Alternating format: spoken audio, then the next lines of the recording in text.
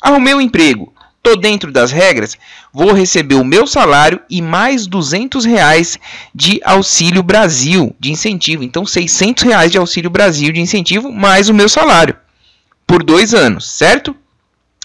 A regra básica de permanência no programa de transferência de renda do governo federal é que a família tenha renda mensal de até 210 reais por pessoa, o que determina a linha de pobreza. Quando o beneficiário conquista um emprego formal e ultrapassa essa linha da pobreza, pode seguir no Auxílio Brasil. Ele não cumpre mais o requisito, mas ele pode seguir por até dois anos, desde que a renda familiar por pessoa, presta bem atenção essa parte mais importante, não supere em duas vezes e meia os 210 reais da linha da pobreza. Então, em que caso que você consegue continuar trabalhando, consegue continuar recebendo o Auxílio Brasil e mais um bônus de 200. Desde que você some toda a renda da família dividida pelo número de pessoas e esse valor não pode ultrapassar 525 reais por pessoa, certo? Se ultrapassar, pessoal, aí sim você vai perder o Auxílio Brasil. Então, isso aqui foi divulgado, mas não deram muita ênfase. Então, não é qualquer emprego que vai fazer com que você perca o Auxílio Brasil, assim como não vai ser qualquer emprego, né, qualquer valor de salário que vai fazer com que você permaneça no benefício. Então eu quero que vocês entendam, precisa verificar proposta de emprego, quanto que eu vou ganhar? Vou ganhar tanto.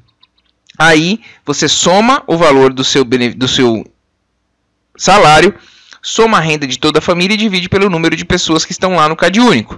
E aí, esse valor não pode ultrapassar 525 reais. Pouca gente está sabendo disso. Se ficou abaixo de 525, você vai receber por dois anos tranquilamente. E no final? No final de dois anos, se você ainda tiver empregado e com salário cumprindo os requisitos, você perde o benefício. Aí sim você perde, certo? Só que se porventura você perdeu o emprego, você vai ter a oportunidade de voltar para o Auxílio Brasil com prioridade. A gente já viu isso acontecer? Não, porque as pessoas estão começando a arrumar emprego agora, as que recebem Auxílio Brasil, as poucas, né? Então a gente só vai ver isso acontecer na prática depois que a pessoa for demitida, que passar esses dois anos. Mas o governo garante aqui, tá? Que a pessoa vai voltar com prioridade, não entra na fila. Hoje a gente já tem uma fila de quase 2 milhões de pessoas aguardando para entrar no Auxílio Brasil. Segundo o governo, a pessoa que era beneficiária e perdeu, ela volta com prioridade, ela não precisa esperar essa fila mais. Então o governo quer que a pessoa perca o medo de arrumar um emprego, continue nele e que mesmo assim tenha certeza que se precisar do Auxílio Brasil novamente, vai tê-lo de forma prioritária, não vai precisar mais entrar na fila, tá bom, pessoal? Então, quero trazer aqui para vocês a informação que o Nordeste é o setor do Brasil que mais, a região do Brasil que mais recebe Auxílio Brasil, tá?